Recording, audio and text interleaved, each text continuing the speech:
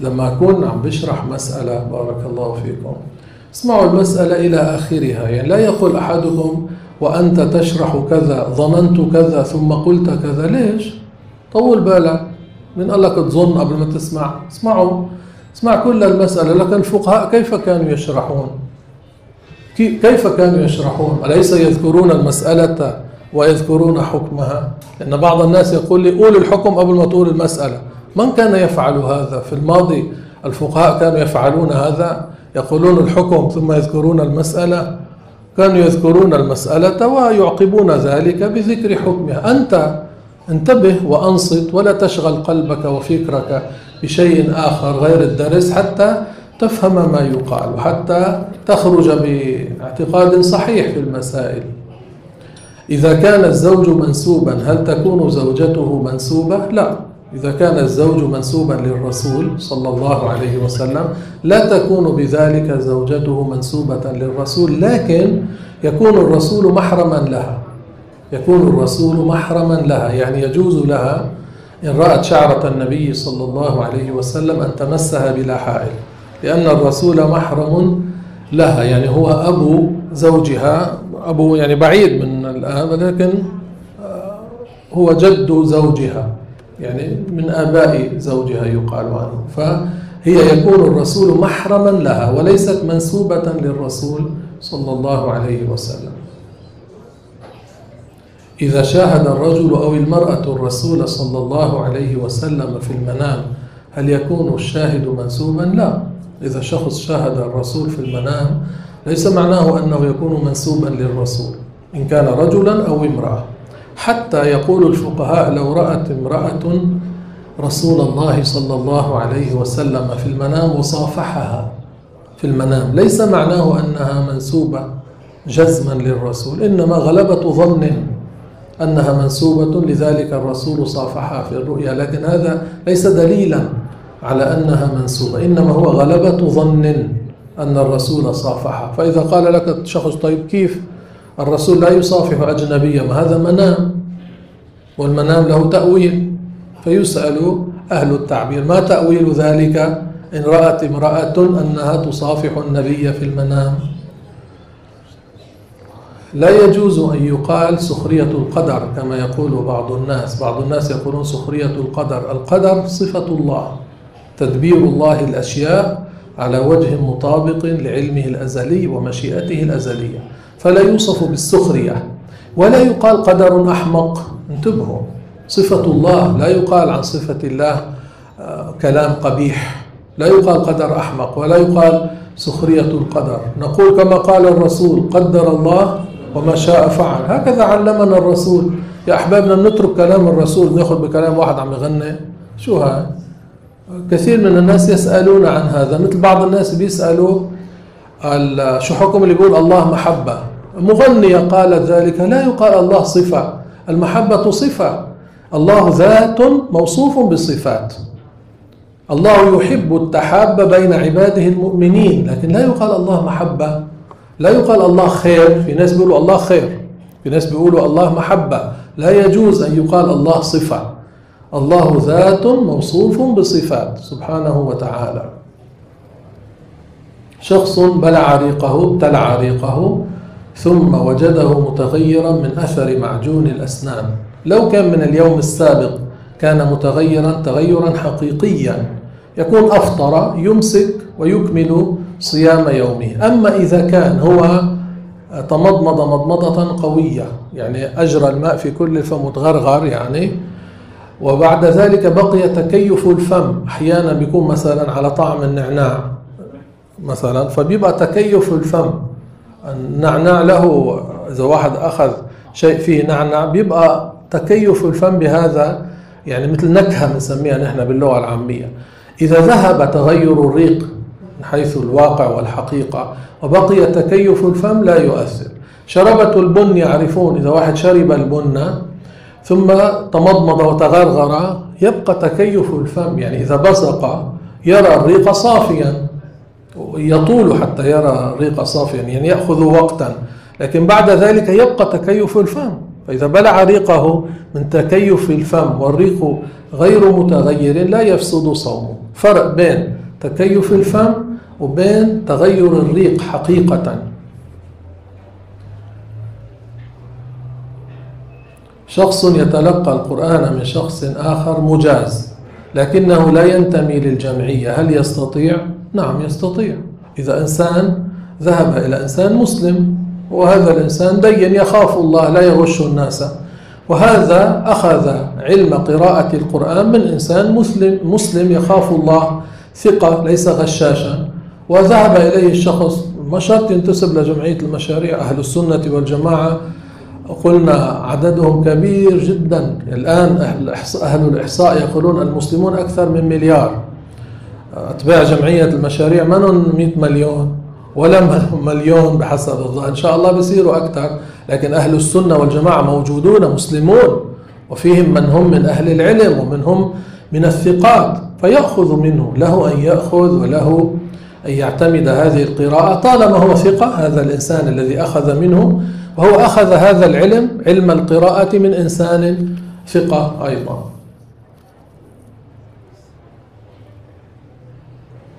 شخص وكل شخصا آخر من مشايخ الجمعية للتبرع بمال لمصالح المسلمين ولكن هذا لم يفعل ذلك وصرف المال لنفسه والآن تاب إلى الله بعد أن تعلم ماذا يفعل. يرجع إلى الشخص الذي أعطاه المال. يقول له أنا فعلت كذا وكذا. تريد الغرامة أم تسامحني؟ تصرفت بمالك في غير ما وكلتني. أنا ما أديت الأمانة. ويندم يعني على ذلك. فهذا الشخص الذي كان أعطاه إما أن يغرمه بدل هذا المال وإما أن يسامحه.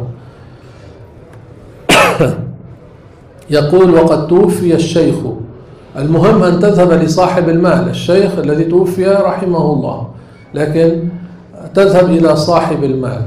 يقول أنا أخجل أن أعرف للشخص الذي أوكل إليه. هذا الحياء الذي لا خير فيه. الحياء حياءان.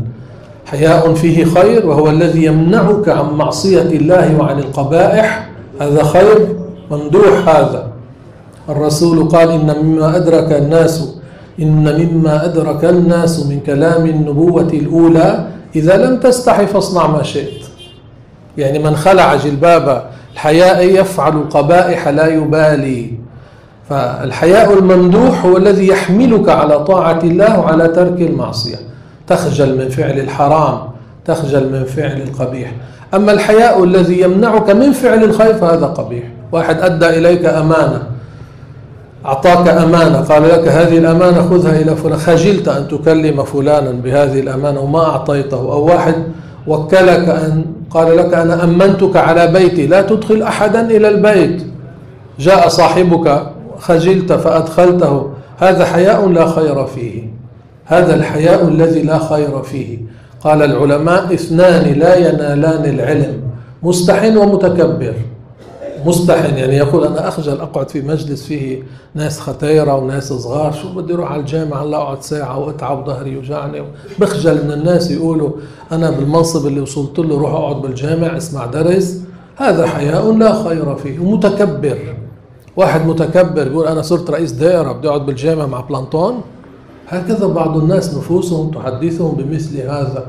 فيمنعه ذلك هذا الحياء الذي لا خير فيه. من أن يطلب علم الدين الذي هو مفروض عليه. الرسول كان يقعد مع الصحابة يقول من هو سلطان أو من هو وزير أو من هو رئيس؟ يقعد مع الصحابة يعلمهم. إن كان غنيا أو فقيرا إن كان عجميا أو عربيا يعلمهم لوجه الله تعالى.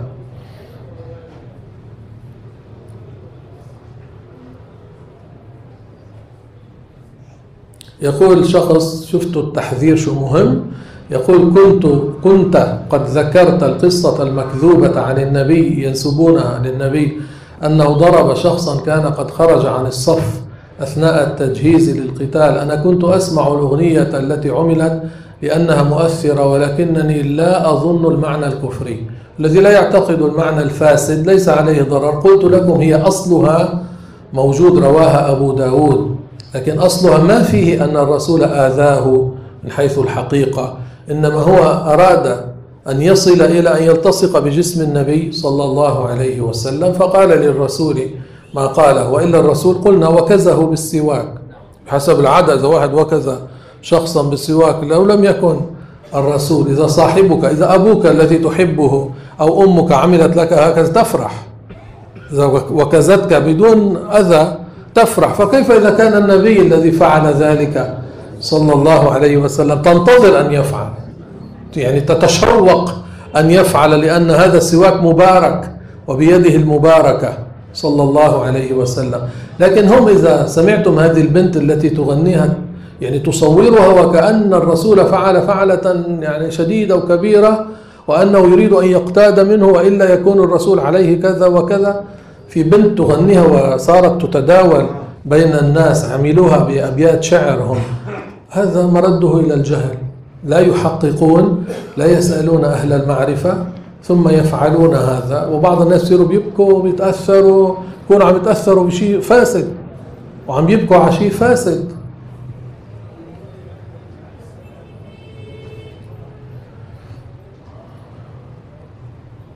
قل كل من عند الله وليس معناه أن الذي يفعل المعصية بما أن الله خالق كل شيء له أن يفعل ذلك. كل شيء بخلق الله. الله تعالى قال إنا كل شيء خلقناه بقدر. كل شيء بخلق الله وبتقدير الله وبمشيئة الله وبعلم الله. لكن هذا ليس محلا للاعتذار بالنسبة للكافر أو العاصي أن يقول كل كل من عند الله كل بخلق الله. لكن أنت مكلف. وعندك عقل وفعلت ما فعلت بإرادتك لست مغلوبا. أنا الآن أتكلم كيف يا أحبابنا؟ بإرادتي لكن بخلق الله لا شك. لولا أن الله مكنني لا أستطيع أن أتكلم. وأنتم الآن تجلسون هنا في واحد منكم عم يأخذ معاش لا يقعد لا أو واحد منكم مربوط بالحبل لا يقعد لا باختياركم جلستم وتريدون التقرب إلى الله. والذي ذهب زنى أو شرب الخمر أو ضرب مسلما أو سب مسلما كيف فعل ذلك؟ بإرادته لكن بمشيئة الله وتقدير الله وعلم الله. وليس له أن يعتذر بمشيئة الله. ليس له أن يعتذر بتقدير الله أو بتخليق الله. ما هو جوابك؟ أنت فعلت هذا باختيارك وأنت منهي عنه. الله نهاك فإذا أنت عصيت الله وتتحمل ذلك. عليك مسؤولية. فإذا ليس للعاصي وليس للكافر أن يعتذر بنحو قول الله تعالى قل كل من عند الله كل شيء بخلق الله. هل من خالق غير الله؟ يعني لا خالق إلا الله. والله خلقكم وما تعملون. العاصي ليس له أن يعتذر بأن الله شاء ذلك. وإلا يقول له الحاكم إذا أراد عقوبته أنت تقول هذا بمشيئة الله حصل وأنا أعاقبك بمشيئة الله. وهذا بمشيئة الله وهذا بمشيئة الله لكن هذا ليس عذرا لك حتى تعمل المعصية. امرأة متزوجة زوجها لا ينفق عليها ولا يؤمن لها مسكنا هل لها أن تطلق نفسها منه؟ بحكم الشريعة هي ترفع أمرها للقاضي الشرعي. تقول له زوجي لا ينفق علي زوجي لا يسكنني زوجي لا يكسوني. القاضي الشرعي يتحقق من ذلك يستدعيه ويسأله يتحقق هل هو الأمر كما تقول أم لا لأنها قد تكون غير صادقة في دعواها. وقبل أن يحكم ماذا يفعل؟ يستدعي الطرف الآخر. انتبهوا يا أحبابنا أحيانا رجل أحبه يكلمني عن شخص لمجرد أنني أحب هذا الشخص أحكم على ذاك هل لي ذلك شرعا؟ لا ليس لمجرد المحبة أو الصحبة. هذا مسلم ويتكلم عن مسلم. أقول له نسمع منه. أنا لست قاضيا لكن أنت كذلك تفعل لأن بعض الناس يقعون في الحكم لمجرد الصحبة أو المحبة وقلت لكم أو لقوة الحجة. بيانه قوي. يأتي بعبارات قوية مقنعة بحسب العادة. أنت راجع نفسك. قل هل لي أن أحكم؟ لأنه قال لي أم أسأل الطرف الآخر. كان الشيخ نزار رحمه الله يردد هذه العبارة. في اجتماعاته. الاستعلام قبل الاتهام. الاستعلام قبل الاتهام. قبل أن تتهم وتعتقد أنه فعل أو قال استعلم اسأله. قد يكون هذا توهم هو صادق يعني لكن توهم ظن الأمر كذلك لقرينة ما توهمه كذلك. لا يريد يعني أصلا الافتراء عليه. فنسأل قبل أن نحكم. نسأل الطرف الآخر. هلا إذا قالت هذه المرأة لا يوجد قاض شرعي يحكم لي بلا مال. ماذا أفعل؟ العلماء يقولون تحكم إنسانا تقيا دينا. يقوم مقام القاضي في هذه القضية يعني يستدعيه ويتحقق من الأمر. رجل صالح من أهل البلد من صلحاء البلد ويتحقق. إن ثبت أنه لا ينفق ولا يسكنها ولا يكسوها يقول له شرعا يجب عليك أن تنفق عليها أن تكسوها. هذا حكم الشرع أن تسكنها. فإن لم يفعل القاضي الشرعي أو من يقوم مقامه له أن يفسخ هذا العقد. يعني يمهله يقول له أمهلك ثلاثة أيام إما أن تنفق أو أن تقترض ثم تنفق يعني. فإن لم يفعل له أن يفسخ هذا العقد يقول هذا النكاح الذي بين فلان وفلان أنا فسخته. القاضي الشرعي الحاكم له أن يفعل ذلك. ويقول الفقهاء توسعا في هذا أكثر لو كانت في بلد لا يوجد فيه. لا يوجد فيه لا حاكم إسلامي ولا قاضي شرعي ولا رجل من أهل الثقة والعدل. يقول الفقهاء تبقى هكذا إلى أن تهلك. هي تستطيع أن تفسح عقدها بنفسها. إن تحقق هذا الأمر. نحن نتكلم عن حكم شرعي. مش هي لحالها يقعد بالبيت بدون أن تصل إلى الحد الذي ذكره الفقهاء تقول أنا فسخت عقدي. لا. لا إنما بحسب حكم الشرع بالترتيب الذي ذكرته الآن. بالنسبة إذا طلق الرجل امرأته كم يقدر أثناء العدة أن يعطيها؟ بحسب حاله يعني إذا كان هذا الرجل ينفق عليها بحيث لا يقال قتر وليس عليه أن يسرف. يعني ليس عليه التوسع الكبير وليس له أن يقتر عليها يكفيها طعامها كسوتها مسكنها في هذه المدة لأنهم يسألون كم يعني في بلادنا تعرفون أن العملة يتغير حالها بين يوم وآخر وأثمان الأشياء تتغير. فإذا قلنا اليوم مثلا هي خمسون ألفا قد تصير غدا مئة ألف ما يدرينا. فينظر بحيث يكون غير مقتر وغير مسرف ينفق عليها النفقة الشرعية. إذا شخص توضأ عند أحمد ومسح على الجورب ثم صلى عند مالك الشخص إذا أراد أن تكون عبادته صحيحة لا بد أن تكون موافقة لإمام من الأئمة. أما إذا فعل فعلا خلط فيه بين المذاهب بحيث صارت هذه العبادة لا تصح عند إمام ما لا يصح فعله هذا. أما إذا كانت بقيت تصح عند إمام ما فله ذلك. لكن انتبهوا أنا أرسلت لأحبابنا الذين أرسل لهم الدروس. الإمام أحمد في المسح على الخف الذي هو مثل الجورب يشترط أن يكون بحيث يمكن تتابع المشي عليه. ليس أي جورب الجوارب الرقيقة التي نلبسها في الصيف هذه تصلح للمشي عليها لحاجات المسافر للاحتطاب مثلا. لا يتأذى عادة. فهي تغطي الجلد لكن بحيث يمكن تتابع المشي عليها. وعنده شروط أيضا في الطهارة في رفع الحدث الأصغر. يطلع عليها الشخص يسأل قبل أن يفعل بمذهبه.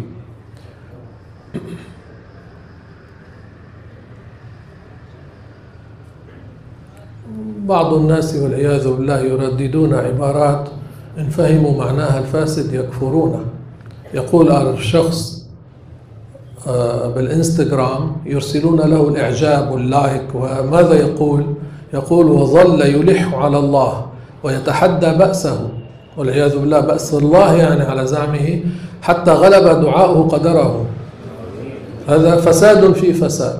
الذي يرى هذا الكلام و يستحسنه أو يضع عبارة استحسان له يقع في الكفر والعياذ بالله. الله سبحانه وتعالى لا يغلبه أحد وتقديره لا يتغير. لو كان تقديره يتغير لكان يجوز عليه ما يجوز على من يتغير. أنت تتغير. يجوز عليك الفناء يجوز عليك الموت يجوز عليك الضعف يجوز عليك العجز.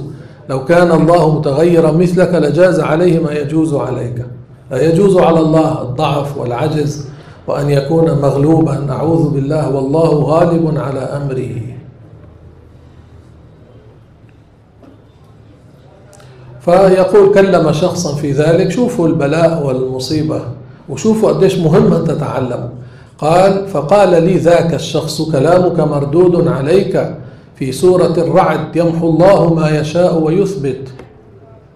يمحو الله ما يشاء ويثبت. ليس معناه أن تقدير الله يتغير وليس معناه أن مشيئة الله تتغير. إنما الله سبحانه وتعالى أنزل آيات في القرآن أثبت بعضها ونسخ بعضها. يمحو الله ما يشاء ويثبت.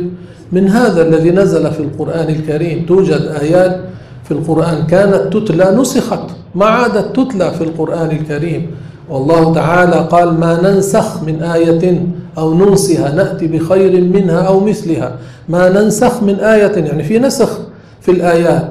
فهذا نسخ يعود إلى هذا. أما مشيئة الله لا تتغير. وما شاء الله أن يكون لابد أن يكون لا يتغير. إذا لما قال الرسول ما شاء الله كان وما لم يشأ لم يكن. لما قال الرسول فيما يرويه عن ربه عز وجل؟ يا محمد إني إذا قضيت قضاء فإنه لا يرد. الحديث لا يتناقض مع الآية لا والآية لا تتناقض مع حديث الرسول. لكن هم فهمهم ضعيف سقيم. يأتون بالآية يضعونها في غير موضعها. هذا يمحو الله ما يشاء ويثبت وعنده أم الكتاب من القرآن الكريم. آيات شاء الله أن تثبت في القرآن وآيات شاء الله سبحانه وتعالى أن تنسخ وأوحى إلى الرسول بذلك فأخبر الصحابة فما عادت تقرأ من القرآن. يقول وثانيا حديث القدر والدعاء يتعالجان في السماء. شرحت لكم عن القدر المعلق. هذا يعود إلى القدر المعلق. لا يرد القدر إلا الدعاء. لا يرد القدر المعلق إلا الدعاء. ليس معناه يرد صفة الله. ليس معناه يغير صفة الله. صفة الله لا تتغير. قدر الله وما شاء فعل. شو يعني؟ هذا حديث ثابت عن الرسول صلى الله عليه وسلم. شو يعني القدر المعلق؟ في قدر مبرم ما في تغيير. قدر معلق يعني فيما نقلته الملائكة في صحائفها. بأمر من الله تنقل من اللوح المحفوظ. مثلا فلان إن دعا الله تعالى بكذا يتحقق له. فلان هو هو. إن لم يدعو لا يتحقق له ذلك. فإن دعا الله تعالى بمشيئة الله وتقدير الله وعلم الله وحصل له بمشيئة الله وعلم الله وتقدير الله اندفع القدر المعلق الآخر بمشيئة الله وعلم الله وتقدير الله. القدر المعلق ليس صفة الله. هذا هو. أو يكون مكتوب في اللوح المحفوظ فلان إن وصل رحمه عاش ستين سنة. لأن هذا من أسباب طول العمر بمشيئة الله. فلان هو هو إن لم يصل رحمه عاش خمسين سنة. فإن وصل رحمه بمشيئة الله وتقدير الله وعلم الله وعاش ستين سنة بمشيئة الله وعلم الله وتقدير الله اندفع الآخر الذي هو شو؟ القدر المعلق. هذا معنى يتعالجان القدر أي المعلق والدعاء يتعالجان في السماء. فما شاء الله أن يكون لابد أن يكون. إن شاء الله أن يدعو هذا الإنسان وأن يتحقق له مطلوبه سيحصل ذلك بمشيئة الله. أما تقدير الله لا يتغير. إذا واحد قال لك ليش؟ تقول له لأنه لو كان يتغير لكان مثل كل متغير. أنا أتغير يجوز علي الفناء يجوز علي الضعف يجوز علي العجز. الله ليس مثلي ليس كمثله شيء. ها مصيبة. كثير من الناس بالأسانسير أمرار بفوت بيكتبوا حديث الرسول صلى الله عليه وسلم لا يرد القدر إلا الدعاء. خلصنا ثلاث نقاط سطر وأنتهي. ما بيكتبوا شو معناته. الجاهل إذا قرأ هذا ماذا يتوهم؟ أو إذا قرأ هذا أقوى التوهم هنا. القدر والدعاء يتعالجان في السماء. بيقول لك أوف. يعني إيه؟ إنه بيغلبوا الدعاء بيغلبوا للقدر على زعمه على بمعنى صفة الله والعياذ بالله. من الجهل. لذلك حصنوا أنفسكم بالعلم. ما في الآيات القرآنية إنا كل شيء خلقناه بقدر. وما تشاءون إلا أن يشاء الله رب العالمين. وخلق كل شيء فقدره تقديرا. الرسول يقول قدر الله وما شاء فعل. ما في تغيير يعني. ودغري انت قل له لو كان يتغير لكان مثلنا لو كان مثلنا لم يكن خالقا لنا وهو خالقنا فإذا ليس مثلنا فإذا لا يتغير وصفاته لا تتغير. بس هالسؤال مهم يعني جزا الله خيرا من أرسل هذا. قال يقول والحديث صحيح تكلم عنه ابن باز. ابن باز منه شيء؟ هذا من رؤوس الوهابية. لا يلتفت إليه إذا قال صحيح ولا قال ما صحيح والحديث صحيح. لكن ليس بتصحيح الألباني أو بتصحيح ابن باز لا يلتفت إليهما. وخذه حيث حافظ عليه نص أو من مصنف بجمعه يخص ابن باز منه حافظ ولا محدث ولا ربع عشر محدث. والألباني لا حافظ ولا محدث ولا عشر عشر محدث. فهذول لا يلتفتوا إليه بس التصقت في الكتب. عندهم مال اجوا ناس من الوهابية أخذوا مؤلفاتهم وصاروا يشتغلون بها لبيعها فصاروا بحطوا لوحات. انت وماشي صححه الألباني. قال جاء رجل محامي في دمشق إلى ناصر الدين الألباني قال له أنت تقول إنك محدث اروي لنا عشرة أحاديث بإسنادها إلى رسول الله صلى الله عليه وسلم. المحدث قديش بيحفظ؟ مش عشرة عشرات عشرة آلاف بيحفظ بالإسناد إلى الرسول مثلا. فقال له الألباني أنا لست محدث حفظ أنا محدث كتاب.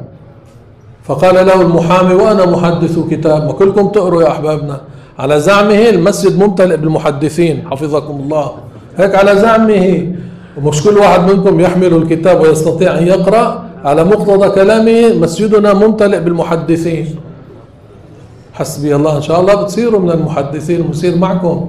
لكن أتكلم عن سخافته. قال له لست محدث حفظ إنما أنا محدث كتاب. هذا له اعتبار. كثير من الصحابة ما كانوا يقرؤون يا أحبابنا. كيف صاروا رواة لحديث رسول الله صلى الله عليه وسلم بالحفظ؟ ومن حفظ حجة على من لم يحفظ هو الذي بعث في الأميين رسولا. أكثرهم كانوا أميين لا يقرؤون ولا يكتبون. كيف رووا الحديث عن الرسول؟ الله أكرمهم بالحفظ.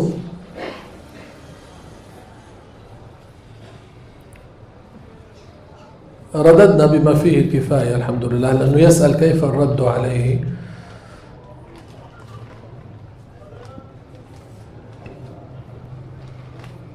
إذا شخص كان ما صلى الصلاة المفروضة فقال له شخص أنت صليت؟ فقال صليت والحمد لله هذا كذب ليس تكذيبا للشريعة. يعني يكون كذب قال صليت وهو ما صلى أو قال صمت وهو ما صام.